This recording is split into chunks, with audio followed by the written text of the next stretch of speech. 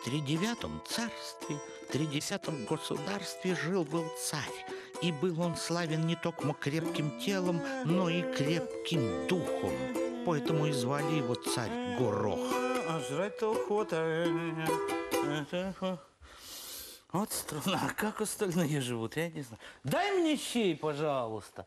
Щей мне подай, пожалуйста. Я царь или не царь? Я, Ну, что это Здравствуй, такое? царь, батюшка. Здравствуй.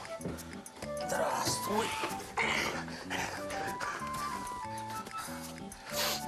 Ну, говори, выполнил ли ты задание то царское? Выполнил царь батю. Ну, говори. Почему они нас за границей называют тридевятым, тридесятым государством? Почему? Почему?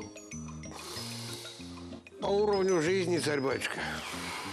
Да собаки. Собаки. А собаки, бусурманские собаки. Пошел вон отсюда. Щи. Ой. Ну, а заказ государственный ты выполнил? Выполнил. Да, давай. Туфли я тебе из-за границы привез. Вот они.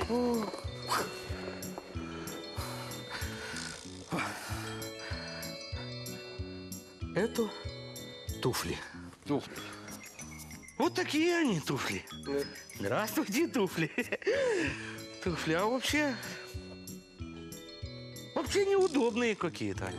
Не, они говорят, за граница, за граница. Вот она, за граница, о, за граница. Фу. А придется теперь с ними мучиться. Придется. Придется.